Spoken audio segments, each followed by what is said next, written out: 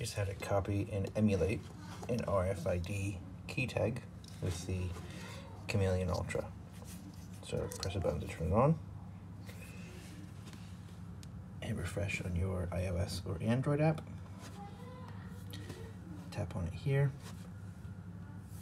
Go to read card. Put the Chameleon Ultra on top of the tag. Press read.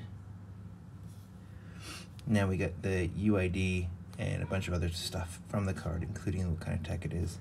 But we need these keys. So you want to use a dictionary. Uh, I'm using this MFC defaults dictionary, which you can get on GitHub for Proxmark. I'll put a link in the description. So we use that dictionary and we hit check keys from dictionary.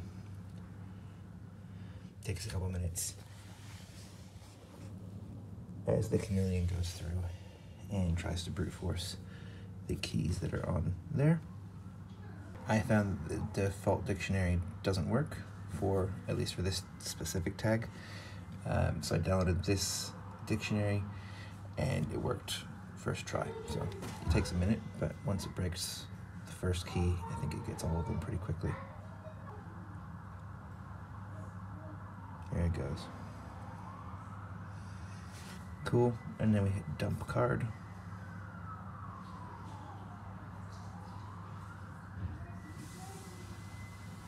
And then we can save it.